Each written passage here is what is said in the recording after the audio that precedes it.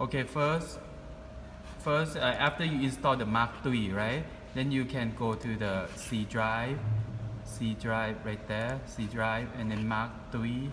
Then you look for Mark III right there, okay? And then you have to put this two file in. This one Mach license and Mark III. So you can chip and then copy, and then you just uh, right click and then paste and then the one that replace okay. Then replace and then another file is for the driver. Then NC USB port right here copy and then you go to plug in and then go plug in right there. And then paste it and then replace it okay. And once you replace it now you can open.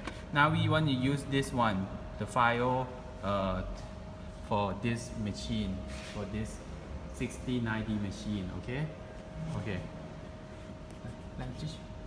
Um, and then um, then we go to um, Mark 3, then Mach3 loader. Then you go for this file for the 6090, then okay, 6090, and then make sure you plug in the USB right here. Okay, 看一下。For this ball. this small ball. okay? Okay okay then you plug in the um, USB right?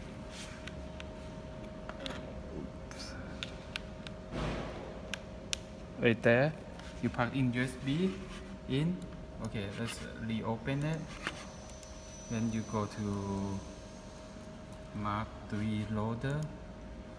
Okay and then okay then Mark 3 after that then you can click the reset and then you can click the tab and then, then you can see it, it can run